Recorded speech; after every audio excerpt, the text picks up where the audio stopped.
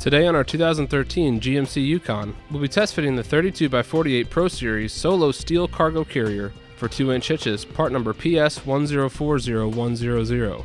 To begin our test fit, we'll slide the shank of the carrier into the receiver tube of the hitch, line up the pinhole, and install our pin and clip. Now we'll go over a few clearance measurements. We have about 25 inches of ground clearance. The closest point of the carrier to the rear of our Yukon is about 9 inches. We've added about 41 and a half inches to the overall length of our GMC Yukon. When opening our rear hatch, it breaks over our cargo carrier at about 11 and a half inches. That completes today's test fit of the Pro Series Solo Steel Cargo Carrier, part number PS1040100 on our 2013 GMC Yukon.